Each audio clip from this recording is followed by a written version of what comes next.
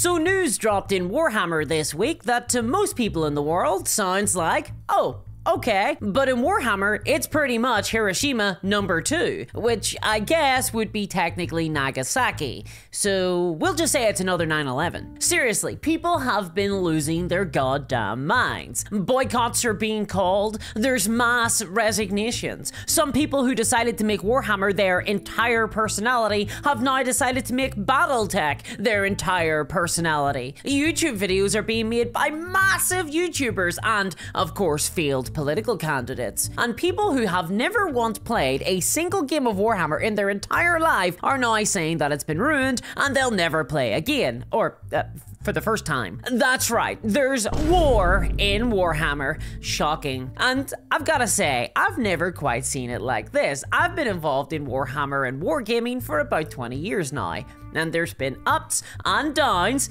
a lot of downs, but the vitriolic reaction to this change has been cataclysmic, and it has even gone so far as to hit national news. And what's happening is insanity, and the story just keeps getting bigger and bigger and bigger, and building and building and building. So what the hell are people mad about, and why, and are they in the right? Well, this drama, this scandal, started when a Warhammer faction was updated with a new army book called a Codex by Games Workshop recently. This faction is called the Adeptus Custodes, aka Bananarama, and these are the elite bodyguards of the Emperor of Mankind. It's a whole thing. And they, for some reason, like to travel around the galaxy and do battle with nasty aliens. And they are really bad at their job of bodyguarding because the Emperor has been dead for like 10,000 years now. Although Games Workshop kind of retconned that part. So this faction got updated in a codex, and codexes are army books that come with rules for each army in the game of Warhammer, and also some lore stories about that army too. And in one of the lore stories of the new Custodes Codex, we meet a Custodes character who is a woman. And the drama has emerged because that that's it. That's what everyone is mad about because this is the first time that a female Custodes has been featured prominently in the lore and story of Warhammer. And now Warhammer has engulfed the internet and everything is on fire. Now Games Workshop have confirmed that this was all intentional in a tweet saying, quote, Since the first of the 10,000 were created, there have always been female custodians.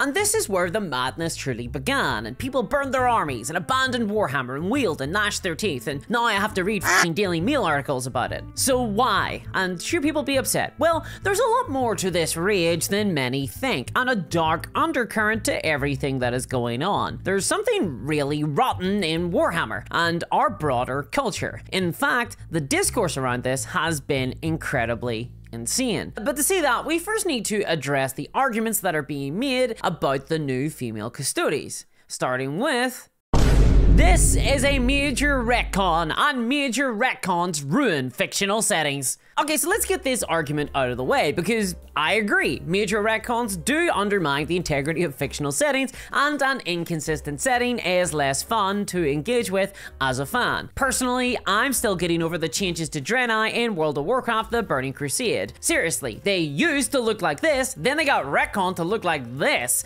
What the hell, Metzen? But many people are arguing that the inclusion of female Custodes is a major retcon to the lore of Warhammer 40k and that kind of ruins things. Uh, the only problem is, uh, they're sort of wrong about it being a retcon. I mean, sure, in the past, all of the Custodes have either explicitly been depicted as men or their gender has been ambiguous, because Custodians are often depicted in big custard cream armor, and you can't really tell what they're packing. And likewise, every time Custodes are referenced in the lore, they're referred to with male pronouns. Yes, the dreaded pronouns, and gendered as men, with them once being called a brotherhood. Although it must be said that most of the time they're actually described pretty neutrally in the lore, their gender doesn't come up. Still, this is a pretty compelling argument that female Custodes are a retcon and they're something new. Firstly though, there is a potential previous mention of female Custodes in the 2022 novel Echoes of Eternity, which is part of the Horus Heresy book series. Sort of? In this story, there's a passage that refers to a group of Custodes as, quote, these men and women were plated in the same gold as the ship And Custodes do like to wear gold, so, you know, no smoke without fire. What about uh, smoke machines? Dry ice. But this line is ambiguous. It might have been referring to female Custodes or simply Sisters of Silence, who are a different all women organization that wear similar colored armor to Custodes and often hang out with them. Personally, looking at all the lore, in my opinion, I think that female Custodes is a bit of a retcon, but only a little bit because Games Workshop are really, really weird. See, the author Aaron Dembski Bowden, who writes Warhammer novels for a living, wrote in a Reddit post all the way back in sunny 2019 before this crisis that he has always wanted to write about female Custodes characters because there is no lore reason that Custodes can't be women. And in fact, in that Reddit post, he said that he was going to depict female Custodes in a novel, but he couldn't because the higher ups in Games Workshop told him that he wasn't allowed to because Games Workshop don't sell any female Custodes miniatures. Ah ha ha ha! Remember, Warhammer is a miniature war game, something that a lot of people who are mad about this seem to have forgotten. Probably because they don't play the game. But miniatures are really the action for Games Workshop. That's where the money is. They, they don't really care about much else. All this lore stuff, it's all an excuse to bash your plastic toys together. And Games Workshop try not to depict anything in the Warhammer 40k lore that doesn't have a miniature that can't be bought. And this is all because of a court case that took place back in 2012. See, I told you I've been around for a while. This was called the Chapter House case, and it's a pretty complicated legal case, so I'm just not going to get into the nitty gritty here. But suffice to say, Games Workshop lost that case. And as a result, they created a policy afterwards to no longer depict anything in the lore or art or codexes of Warhammer that they do not sell as a miniature. Because otherwise, as Games Workshop saw it, other companies could swoop in, create miniatures of those characters in the lore, and then profit off the Warhammer IP, and Games Workshop wouldn't be able to stop them as established in Chapter House. And it is this policy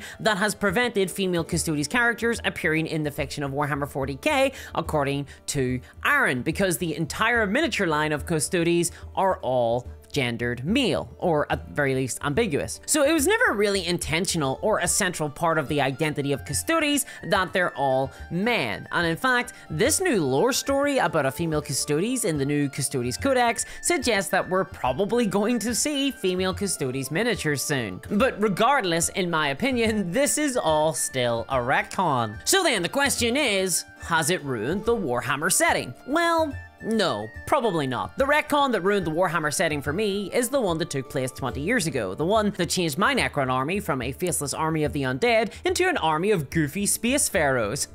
they just want to collect stuff now. And that was a massive retcon that ruined my Terminator themed army and impacted the entire faction of Necrons, how they play, how they are perceived, and how they are painted. That actually substantially changed things.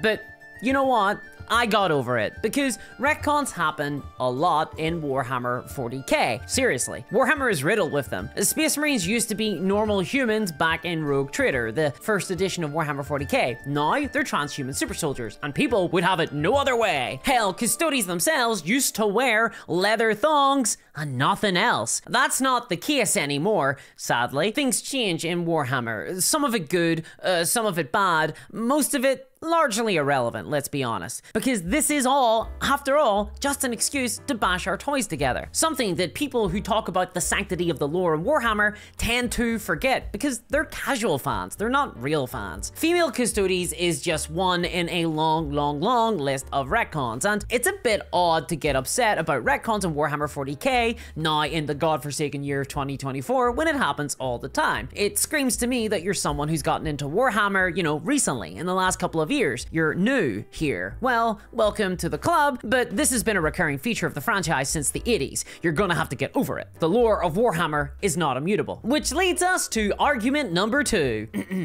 This would be fine, but Games Workshop is not gaslighting and lying to fans. This argument, echoed in the fucking Daily Mail of all places, is that yes, a retcon has occurred, but Games Workshop are being particularly egregious about it this time because they are trying to claim that there have always been women in the Custodes when that's clearly not the case. And this was a great opportunity to make some new lore that was interesting and good, but the opportunity was missed because Games Workshop Are liars and they've lied. Now, I've seen this argument a lot, and the problem with it is that the declaration that female Custodes have always existed, this retcon, it's been delivered in the way that all retcons are delivered in Warhammer. It was just stated as a matter of fact, and then we were all expected to move on. And to prove that that's always the case, here are three words that they don't want you to know about. Rogal, Dorn, tank. The Rogal Dorn tank was created in 2022 and it was an entirely new tank option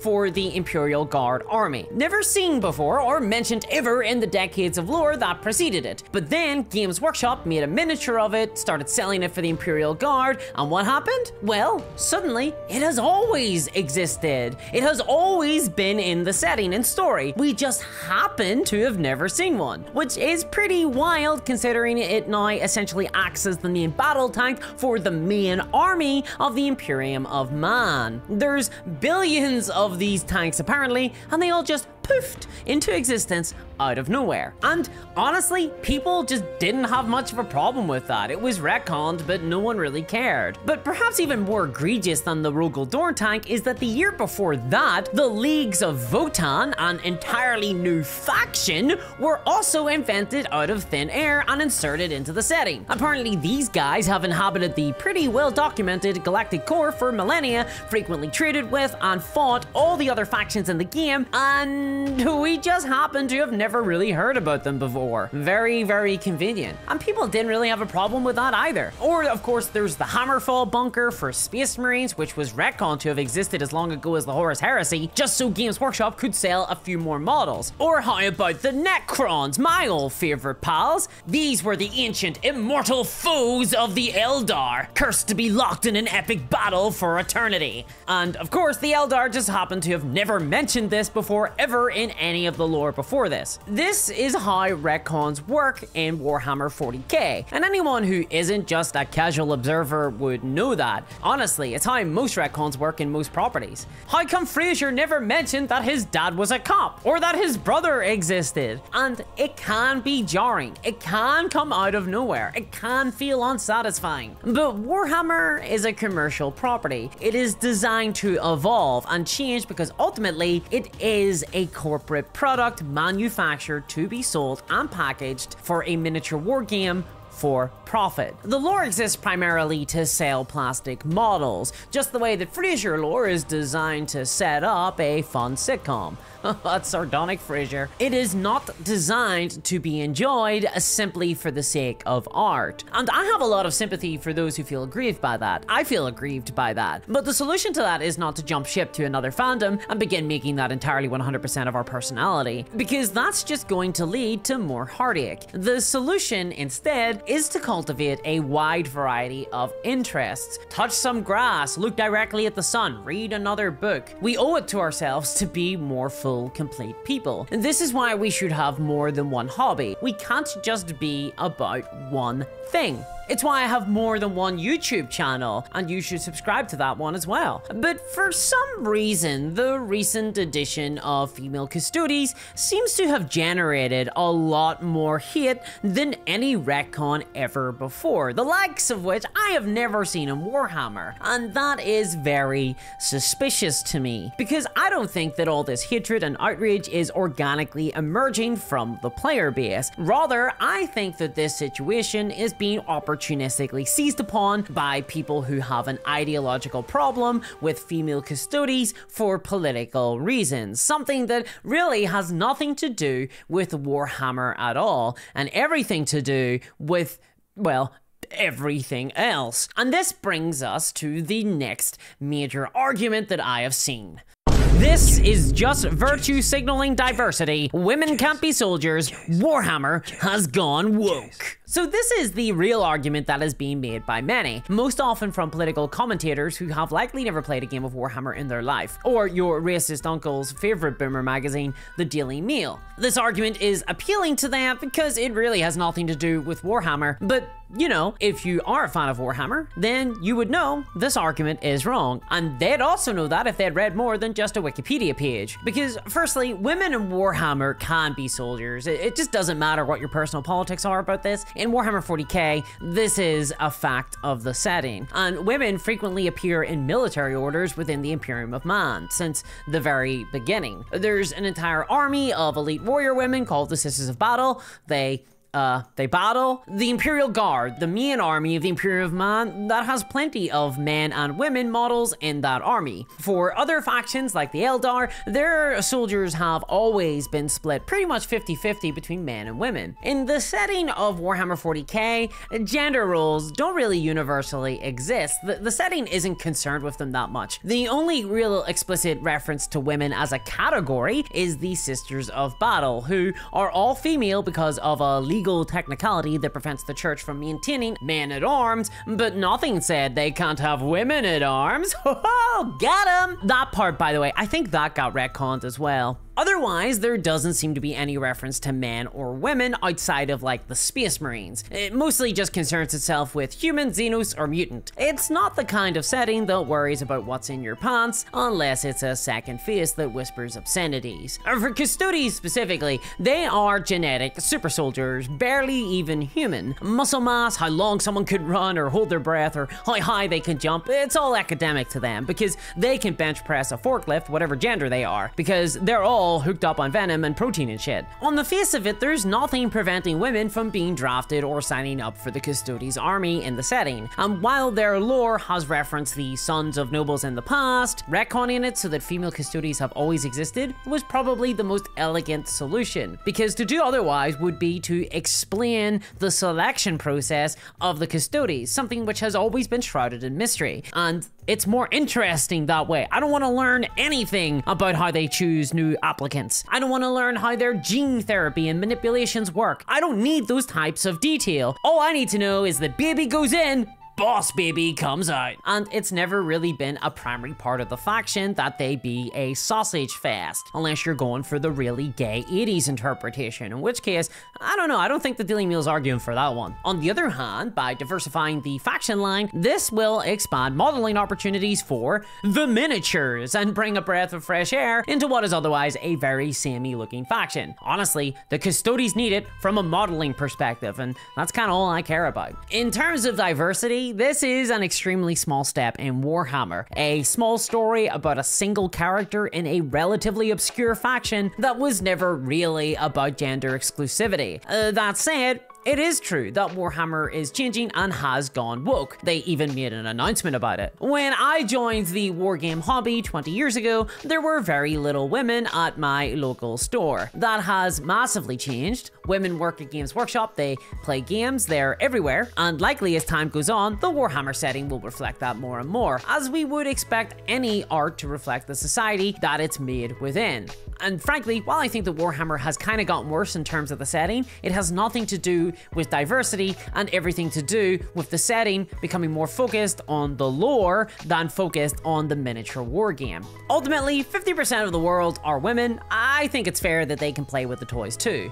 Honestly, this is so minor a change considering the pushback and vitriolic hate that it has spawned online. It's far more hatred and anger than I saw when Games Workshop raised their prices last year for the uh, second, th third time in the year, something that actually impacted wargamers. Games Workshop do a lot of things that deserve criticism. They often take actions that I talk about on this channel that are really, really bad for consumers. They often raise prices, they refuse to credit their artists, they have begun bundling models in very expensive limited edition box sets, they don't produce enough stock and therefore their products get scalped and sold for extremely high prices on eBay, they lock rules behind paywalls, they are removing posability on their models. Hell, just last week, Games Workshop deleted entire armies from Warhammer Age of Sigmar which rendered people's entire collections of models obsolete and no longer playable. That's thousands and thousands of dollars for some people just snapped away in the new edition. As a company, Games Workshop are focused on profit, and they are run by executives from print media, IT, accountancy, financial firms, and this often manifests in practices that are anti-consumer, and overall their business model makes the war game hobby worse. But this change? This is not one of those times where Games Workshop have shit the bed. This really isn't a big deal in the hobby, and I question the wargaming credentials of any content creators that have decided to come out of the woodwork, Johnny come latelys, to say this is bad